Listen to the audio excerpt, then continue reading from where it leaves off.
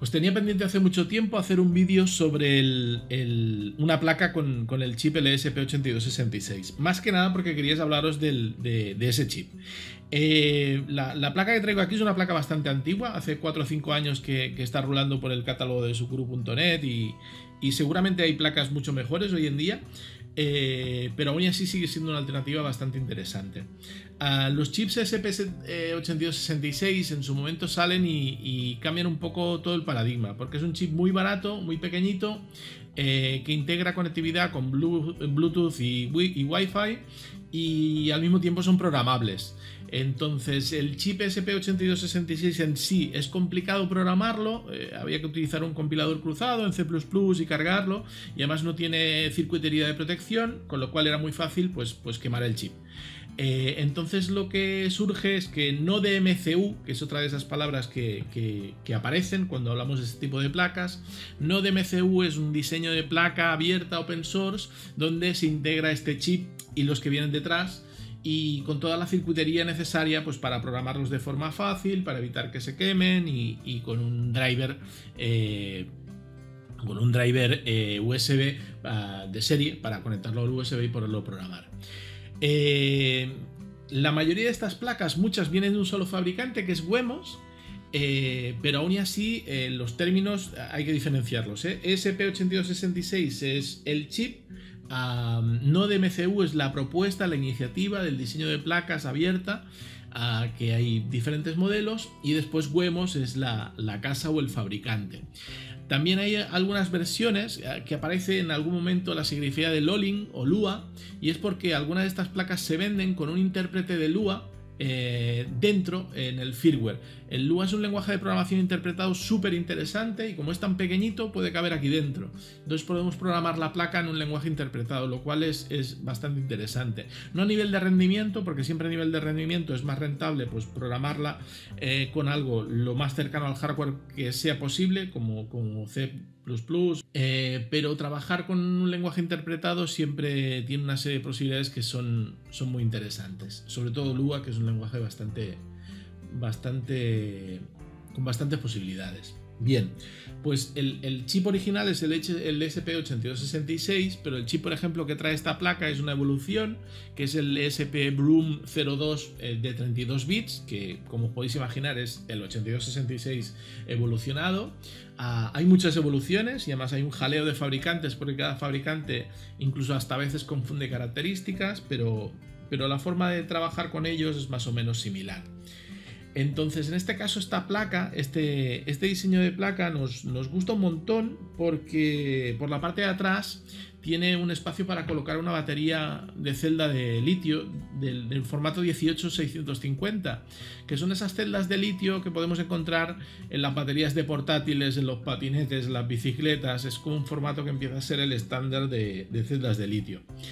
Así que podemos aprovechar esas celdas de litio que tenemos por ahí muertas de risa reciclarlas y montar un, cacharrito que se conecta a la wifi o al bluetooth y que de forma inalámbrica nos está dando información de algún elemento que tenemos en algún sitio. Estas celdas de litio, pues, pues eso con unos miles de miliamperios hora nos aguanta un montón eh, la conexión del, cacharro porque el consumo de, estos chips eh, cada vez es menor y una batería de litio pues tiene, tiene una capacidad interesante.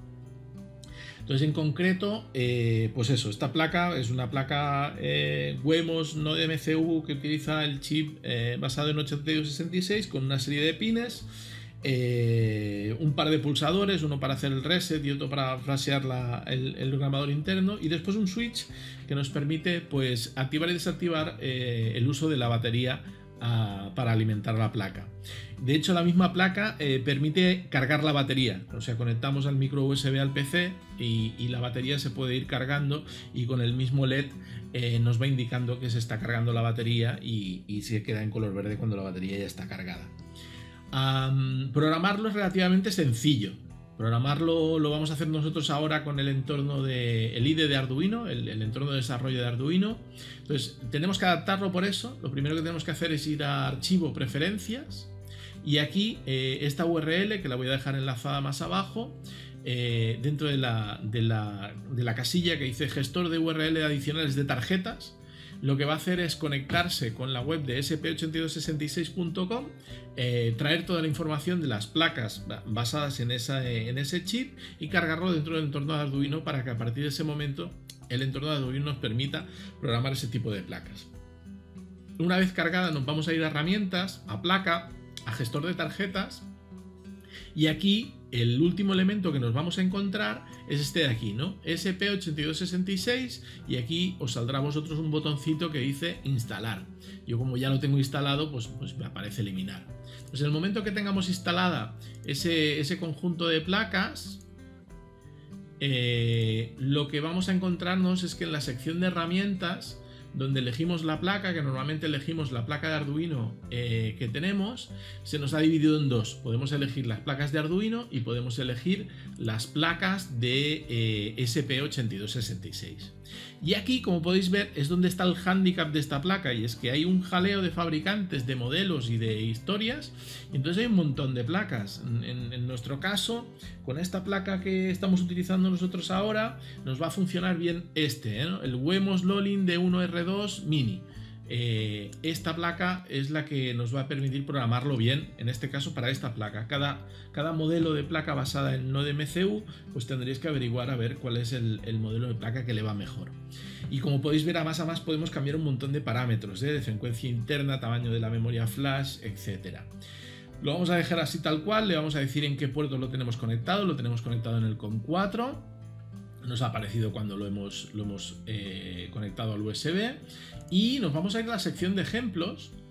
Y bueno, como podéis ver, tenemos pues mil ejemplos y además mil ejemplos para cada una de las placas, ¿no? Eh, en SP8266 tendremos los ejemplos básicos, ¿no? El, blink, la interacción, las entradas, etc. Pero nosotros queremos utilizar un ejemplo de, de servidor web, que es una cosa que es para lo que realmente es interesante esta placa.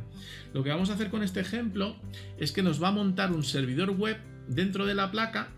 Entonces al arrancar la placa se va, se va a conectar a, la wifi que tengamos en casa. Yo ahora aquí voy a poner el nombre de la wifi de casa, el SSID y el password de la wifi. Entonces la placa se va a conectar directamente a la wifi. Eh, esto lo vamos a ver aquí en el setup eh, va a encender un LED, va a abrir el, monitor, se va a conectar a la wifi que le hayamos dicho y una vez esté conectado nos va a imprimir cuál es la dirección IP que le ha dado el router.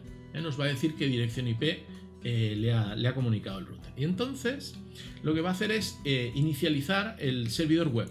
¿vale? Entonces el servidor web va a inicializar el, eh, la barra. La barra es cuando le solicitamos la, página al, servidor y lo que va a hacer es llamar a esta función que se llama handle root. La función handle root que está aquí arriba es la que le indica qué es lo que tiene que hacer cuando alguien eh, dentro de un navegador escribe la dirección IP de la placa en este caso. Entonces lo que vamos a hacer es que, nos diga hola, ¿vale?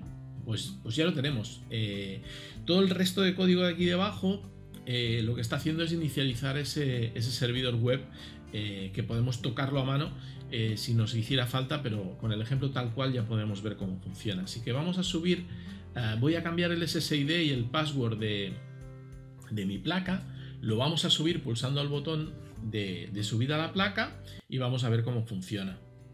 Pues una vez subido el código a la placa, él de forma automática hace un reset a la placa y ahora vamos a ver el, el monitor serie a ver qué nos, a ver qué nos dice aparecen unos puntitos, en este momento se está intentando conectar a la wifi, ha detectado la wifi de casa y nos dice que su IP es esta de aquí.